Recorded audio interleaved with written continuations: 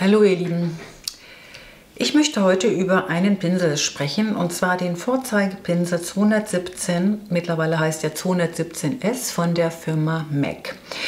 Alle Damen, die Video, also Videos YouTube oder generell Schminkvideos schauen, werden in irgendeiner Art und Weise schon von diesem Pinsel gehört oder es gesehen haben, dass es auch die Profis äh, diesen MAC 217 verwenden. Und äh, das ist eine interessante Geschichte, was diesen Mac betrifft, also diesen 217, speziell der 217er. Also ich hatte ihn schon mal vor Jahren, dann ist er irgendwie abhanden gekommen, geklaut oder verloren oder er war weg. Und ähm, ich habe mich dann mit meinen Zoeva-Pinseln, das sind auch alles Verblender-Pinsel und Bobby Brown-Pinseln angefreundet, aber ehrlich gesagt habe ich nicht die passende Alternative zu diesem 217er gefunden. Und nun war ich intensiv äh, auf der Suche seit ungefähr einem halben Jahr nach diesem 217er Verblenderpinsel. Also das ist ein Pinsel, der zum Verblenden von Lidschatten benutzt wird, zum Verblenden und Schattieren. So, also dann hieß es, nee, also diese Pinsel sind nicht lieferbar, dann hieß es, die Pinsel werden umgestellt. Die waren, also früher war dieser Pinsel aus Ziegenhaar und nun ähm, ist auf Synthetika umgestellt worden und das heißt, ähm, deswegen heißt es auch 217S und die anderen heißen auch jetzt, weiß ich nicht, 218, 240, da gibt es ja zig Nummern, aber ich will ja nur über diesen 217er sprechen. Also, ich habe gestern diesen Pinsel in einem Mac Store bekommen. Also wir haben hier den größten Douglas Deutschlands und Douglas hat irgendwie ein totales Problem, diesen Pinseln zu ordern. Ich habe mich mit diesen Mädels von MAC äh, sehr süß, süß, unterhalten und die hat mir dann den Tipp gegeben, dass Galeria Kaufhof oder Karstadt, dass die das auch haben, dass dieser Pinsel dorthin geliefert wird. Aber immer nur eine geringe Anzahl. Die kriegen dann so zehn Pinsel. Das müsst ihr euch mal vorstellen. Also diese, diese, diese, dieser Hype um diesen Pinsel, das ist ja schon irgendwie, das ist ja schon eine, eine Geschichte an sich, ja. Jedenfalls äh, hieß es dann aber, ja, die hätten den Pinsel da, allerdings die kleinere Form. Es gibt auch eine Reisegröße, die dann also ein bisschen kleiner, wo der Stiel kleiner ist. Also ich habe nun diesen VB Mac und habe jetzt endlich wieder mein 217S, also verbessert. Was hat es mit diesem Pinsel auf sich? Also der ist völlig unspektakulär verpackt. Einfach, also man kriegt dann so eine Tüte von MAC, ne? Und ansonsten ist der in so einem Plastikding drin. Ist ja eigentlich ganz gut, dass nicht so viel Verpackungsmüll. Natürlich sind Verpackungen schön, aber es landet ja alles auf dem Müll.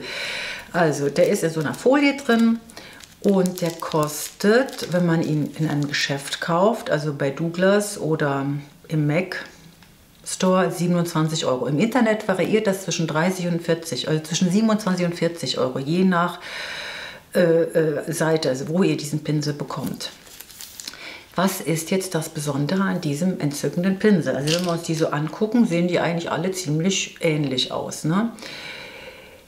Also dieser Pinsel, also erstmal sind wohl diese MAC-Pinsel alle von Hand gefertigt. Ähm, das heißt, es ist sehr eng und fein auch gebunden. Die Borsten, also es sind Synthetika-Borsten jetzt. Und der, der, der Stiel ist aus Holz und das ist so ein, ähm, wie nennt sich das? Das ist irgendwie so ein vernickeltes Messing hier, diese, diese, diese Kappe und äh, er hält, also er hält sich gut in der Hand. Und das Erstaunliche sind wohl diese, die Anordnungen dieser, die sind so oval angeordnet der Borsten, diese ovale Anordnung der eng gebundenen Borsten. Man kann also großflächig über das Lid damit gehen. Äh, man kann äh, also großflächig jetzt den Lidschatten auftragen, egal ob ein cremiges oder ein synthetisches Produkt. Man kann in die Lidfalte damit gehen. Man kann sich jetzt auch äh, hier unten als Highlight, also dieser Pinsel findet vielseitig, also vielseitigen Einsatz. Und ähm, wie gesagt, ich habe diese anderen, also ich bin ein großer Fan von Bobby Brown, aber das geht überhaupt nicht. Der geht eigentlich gar nicht, dieser Verblenderpinsel. Da gibt es zwei Verblenderpinsel, die sind einfach zu weich. Ich weiß nicht, es ist schon verrückt, dass so ein Pinsel, der muss eine gewisse Festigkeit haben. Er darf nicht zu fest sein, darf nicht zu weich sein. Er darf nicht, hier, die sind zum Beispiel viel, viel lockerer gebunden. Die sind beide von Soeva, die sind viel lockerer gebunden als der. Also der ist schon fantastisch. Und die haben auch nicht diese, wie so, wie so eine Katzenzunge sieht das ja fast aus. Ne? Ähm, also, ein, eine, eine absolute Investition. 27 Euro hört sich sehr viel an, aber man braucht ja nicht 20 Pinsel. Man reicht, es reicht ja, wenn ihr einen super guten Verblenderpinsel habt. Und äh, bei guter Pflege hält der auch jahrelang. Also das ist ein Produkt, was wirklich jahrelang hält. Das heißt, ihr, ich würde den jetzt nicht unter komplett mit diesem Holzgriff unter Wasser anhalten. Ihr nehmt einfach eine spezielle Pinselseife, äh, gebt das so ganz vorsichtig, schäumt ihr die, die, die Härchen damit ein und spült das jetzt nicht nach oben, sondern nach unten geht unterm Wasserhahn aus, zieht das so trocken, legt es über, auf ein Handtuch über eine Tischkante also nicht so zum Trocknen, dann könnte das Wasser in den Stiel laufen, der kann dann wiederum schimmeln, der Holzstiel, weil es ja Holz ist, über die Tischkante zum Trocknen legen. Und wenn ihr den, wie gesagt, ähm, hegt und pflegt, dann habt ihr ewig was von diesem Pinsel. Also, und da ist eine Investition von 27 Euro durchaus machbar, würde ich sagen. Also ich möchte ihn einfach empfehlen, weil ich ihn, weil ich ihn einfach fantastisch finde. Und ich bin sehr froh, dass ich endlich wieder einen habe. und ähm, es ist, wie gesagt, ein wahnsinniger Hype. Also die jungen Frauen, die jungen äh, Frauen wissen, die kennen diesen Pinsel natürlich alle. Wir Älteren vielleicht nicht so. Wie gesagt, es gibt auch gute Vergleiche von Ebelin oder von, von, von Sueva, aber das hat schon seinen Grund, warum der fast 30 kostet und die kosten eben nur 10. Es, es hat irgendwie schon seinen Grund. Die, also Sueva, ich bin auch ein totaler Sueva-Fan, bitte jetzt nicht das falsch verstehen, aber es gibt keine Alternative zu dem. Der ist einfach also zum Verblenden und zum Schattieren für einen perfekten professionellen Augen-Make-up-Look ist dieser Verblenderpinsel ein absolutes Tool, was also was in keinem Kosmetik-Schminktäschchen fehlen sollte. So, und dann habe ich noch was Tolles äh, entdeckt bei der Firma Lancome. Da gibt es jetzt so eine Frühlings-Limited Edition. Die ist sehr pastellig. Ich habe allerdings nur ein Produkt gekauft, weil mir das, also, und zwar geht es um einen äh, Cream Eye Shadow Stick in der Farbe Milky Pink. Das habe ich übrigens auch auf den Lidern drauf. Das ist so ein ganz zartes ähm, Rosé. Und das ist so ein Stift und das kann man so aufdrehen. Ich gebe jetzt mal was auf meinen Handrücken. Das ist so ein richtiges schönes, milchiges Pink. Und da gibt es, also, also die hatten, ich gibt glaube ich drei oder vier Farben, also die hatten in Grün, so ein ganz helles, pastelliges Grün und dieses Pink da. Und ähm, ich habe irgendwie so jetzt, auch gerade wenn man so länger krank war und im Bett rumgelegen hat und jetzt ist ja auch der 1. März heute und äh, das Frühjahr beginnt und man ist so, die Mode in den Schaufenstern ist alles so bunt, so rosé und gelb und hellgrün und hellblau und, und also alles sehr pastellig. Und ich finde eben auch schön, wenn man sich die Augenlider so ein bisschen pastellig, so ein bisschen, so ein bisschen hell schminkt. Und gerade wenn man so 50 plus ist, sehen auch so hell geschminkte Augenlider sehr freundlich aus. Und ähm, ich mag auch so dunklere Augenlider oder auch dieses kupfergoldige, aber das passt mehr in den Winter, mein Empfinden. Ich finde jetzt im Frühjahr das ist sehr schön, wenn wir so ein bisschen auf diesen Rosy Glow Trip wieder gehen. Und da bot sich das an. Also dieser kostet äh, 19 Euro und noch was, 19,99 Euro.